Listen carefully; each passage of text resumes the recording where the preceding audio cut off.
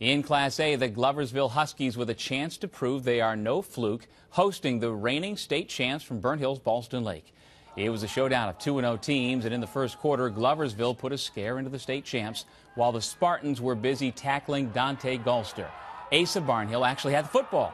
He races untouched 61 yards for the game's first score, but within three minutes, Burnt Hills snatched the lead. Josh Casada, a five-yard burst into the end zone with the point after 7-6 Spartans, but Gloversville wasn't done. Barnhill throws it up for Quantel McGee, a spectacular one-handed grab for a score, 14-7 underdogs at the end of the first quarter. However, Gloversville would not score again. The next 39 points all went the way of Burnt Hills Ballston Lake. The state's top-ranked Class A team prevails 46.